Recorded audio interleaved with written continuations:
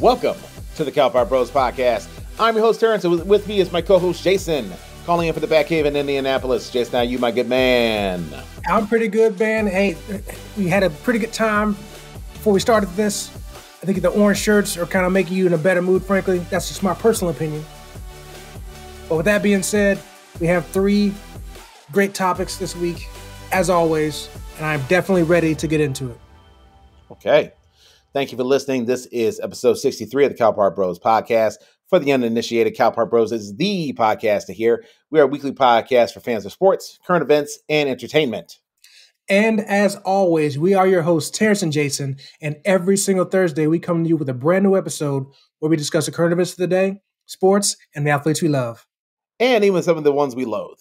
No matter the topic, you can expect a brutally honest and fun exchange of snark while learning through the lens of our 30 years of friendship that originated in Calumet Park, Illinois. And folks, for more Cal Park Bros content, make sure you connect with us on Facebook, Instagram, Twitter, YouTube, and TikTok under the handle Cal Park Bros or Cal Park Bros Podcast for more, more behind the scenes of the show and just to engage with us every single day.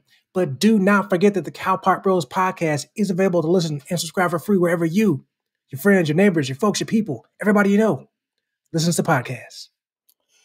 Like us, love us, share us, follow us, and folks, if you like us, hell, why wouldn't you? Folks, like Terrence said earlier, we are the podcast to hear and watch, so make sure you're living it, loving it, and doing it. Okay, let's get into it. Um, as Jason mentioned, we had a gang of laughs uh, prior to uh, kicking off the show, and that's because mainly ain't a lot of shit to laugh about this week. Um, and I maybe I picked a good time to kind of um go on Facebook hiatus uh, because I was paying attention to the news cycle. This this played out fairly predictably predictably with Roe versus Wade, okay? The the writing has been on the wall pretty much since Donald Trump took office. With every retiring judge, the new judge tries to give the implication that, oh no, I would never overturn Roe v. Wade, ignoring the fact their entire, you know, history as a judge says otherwise, that they were absolutely going to vote for that sort of thing. All these conservative ass judges, Donald Trump put into office, and I know this segment is really about Roe v. Wade. Um, and I feel like us as a country, that's typically all we actually pay attention to, ignoring the fact there's a lot of other federal judges that Donald Trump got to appoint, or any president gets to a point for that matter. But you don't really hear about that because it hasn't doesn't have the same level of uh doesn't have the same weight. And this played out fairly predictably. Um, it was only a matter of time before this this this current currently constructed Supreme Court finally removed the veil and said, "Okay, Roe v. Wade's out of here. It's toast." And that's 50 years of basically uh, protection, um, fed, federal protection, mind you, uh, of a right to, to an abortion. And I know, guys, that gals, non non-binary, that why yes, you do yet have two motherfuckers with a penis, yet again offering their two cents on this. But we're I, I say we. I'm approaching this from the perspective of yes, we know that.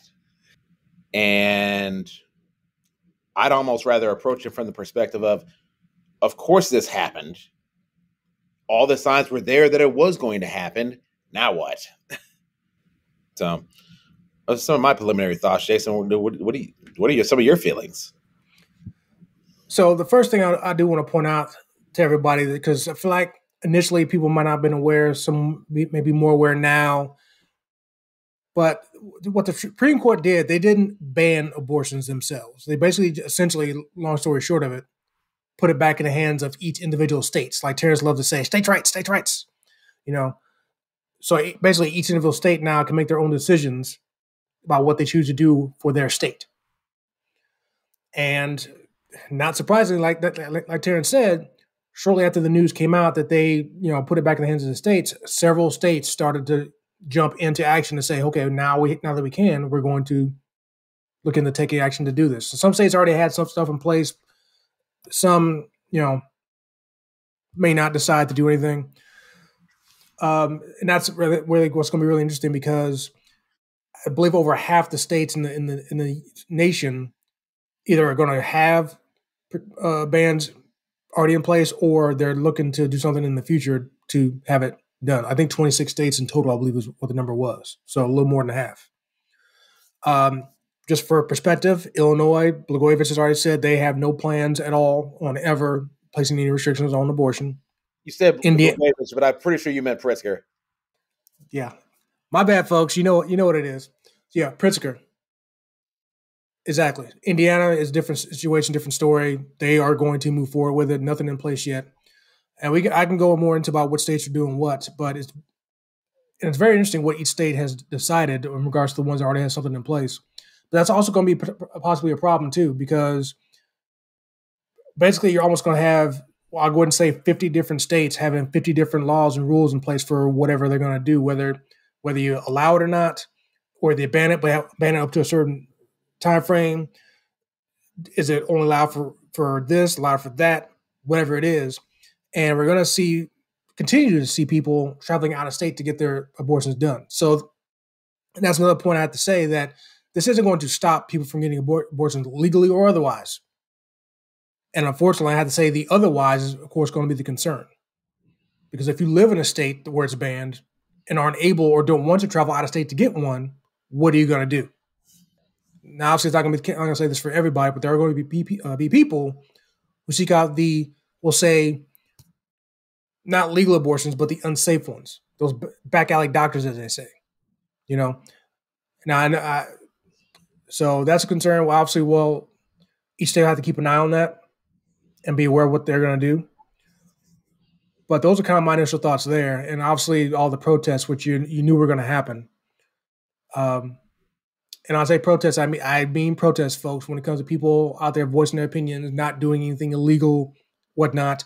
I know there's a certain side of the political spectrum that want to put all of it on, you know, on the other side. But one other thing, and I'll let you jump back in, that I found really interesting is that the response that I saw from social media. Now, when I say social media, social media, I mean the people that I actually know, the women. And when I say women, I mean women on both sides of the political spectrum. Those who vote one way, those who vote another. I surprisingly didn't see any females in support of this. Now, obviously, we know there are plenty. Yeah, there's many women out there who are, which is what it is, and I, I pretty much know why. But I was just very surprised at that. That in the people that I know, the hundreds of people that I know, hundreds of women that I know, on both political sides, none of them were in favor of this. You know, so those are my initial thoughts, and I have several more, but I want to hear what else you got to say. Um, well, w- one thing I thought of is that so basically having 50 different answers to how how um uh, a woman's right works out so well, right? Because it works out so well for gun control, right? I mean, obviously, Indiana's answer to uh, to uh, gun control does you know does wonders for what's going on in Illinois, right? Well, I mean that that goes in what I, what I was saying too. People are going to travel out of state to get abortions, and if you're in Indiana or the other states around Illinois that I'm going to go into later, easy trip to Illinois, boom, and you're good. So I mean, people are going to get them no matter what. So Jason, it's not going to happen in that state.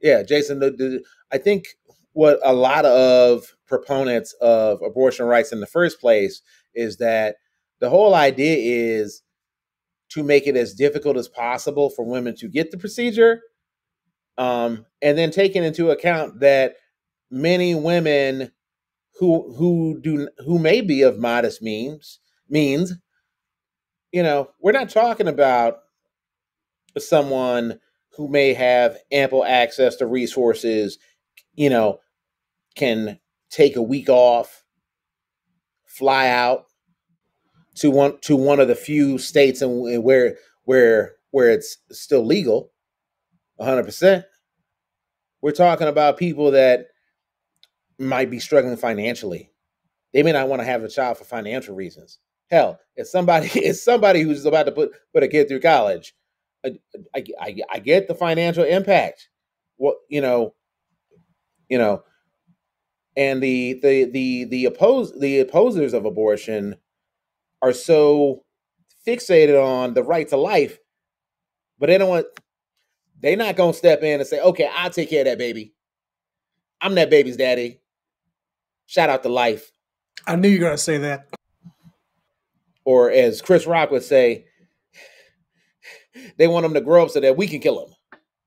You know, the whole right to life campaign it's a little shaky for me. If you're if you're pro life, fantastic. No one's trying to say that you can't take your baby to term. You trying to have a say over every damn body. Which makes you just as bad as the feds. Now, Jason, you had mentioned um, something about the logistics of the states in which you you can still get an abortion? Yeah, before going to that, I, I want to mention one thing. You mentioned about right to life and stuff like that. One of my uh, friends did mention a very interesting point. is that when it comes to, I know it's different aspects, but that they mentioned that when it comes to filing your taxes, you can't claim an unborn child, born unborn child, because the IRS says you can't do that because it's not a person. But yet, you know, right to life. Okay. And then also, too, I harken back again, harken to people that always say, what laws do we have that govern men's reproductive situations with their bodies? Which are basically none. Again, we go more than that later or some other time, but but to answer your question, yes. So as of right now, there are 20 states that it's projected that they're they don't have anything in place for restrictions on abortion and they're not going to. Again, I mentioned Illinois is one of them. You can imagine some of the other ones: California, Washington, uh, Oregon as well, uh, Montana, shockingly, uh, Wisconsin, Iowa, so kind of in that area there. Really, where you see the big concentration of states to where either it's banned now or they're going to have a banned, as you can imagine, is that southeast corner and kind of coming up to like Kentucky and stuff like that. Um, and like you mentioned, as far as traveling out of, out of, out of state to get an, an abortion, if you're going to do that, if you're in those states, you're really going to be far away from a state where you can get it. So I agree with you, what you're saying that that's going to be an op- not an option for many women because financially and logistically, it's just not possible. Yeah, from Indiana, you can always just drive to Illinois if, if you wanted to. That might make it easier.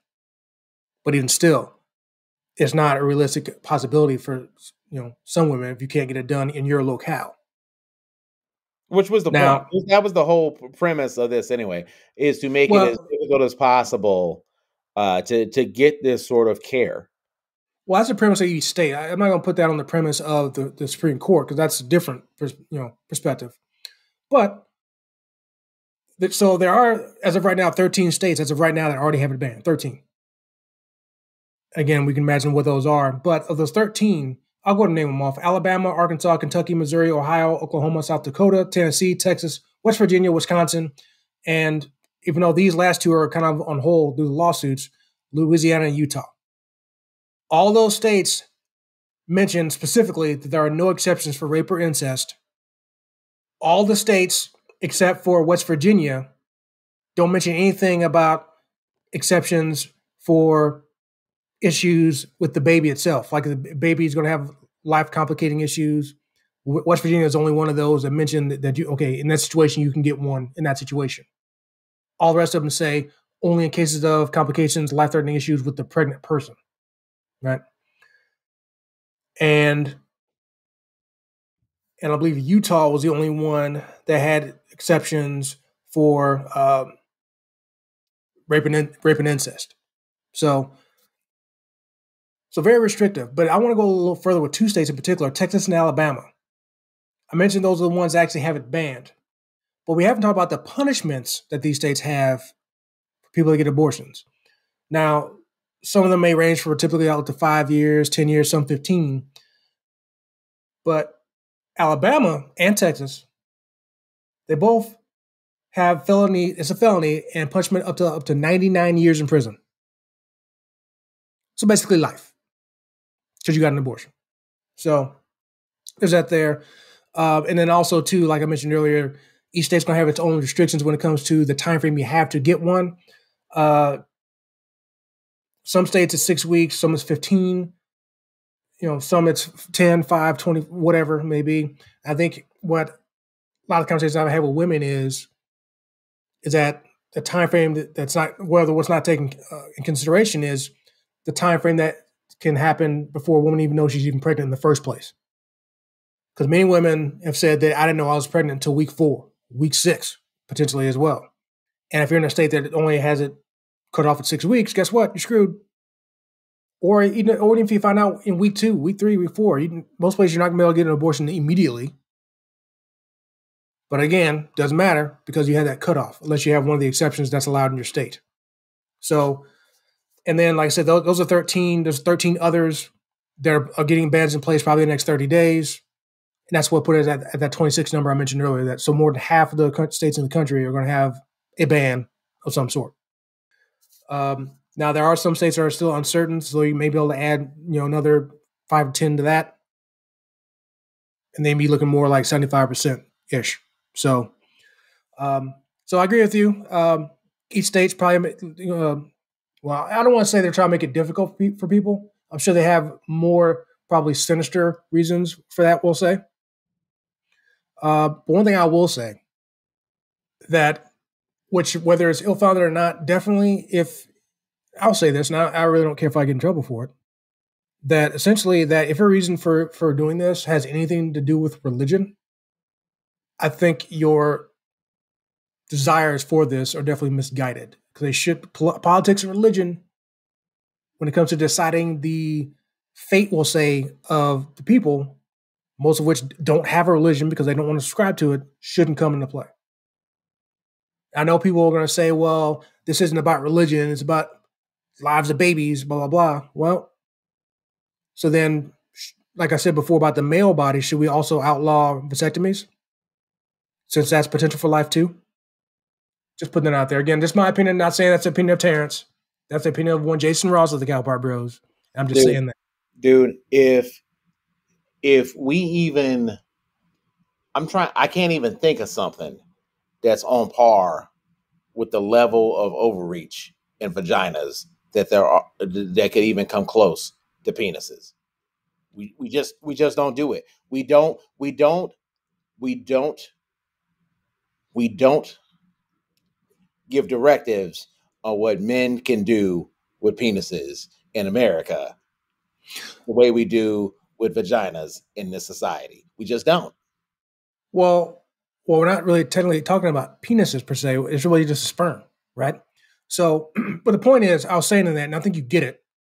I'm just saying that if if if if if if life is all you know, it's all about life and the potential for life.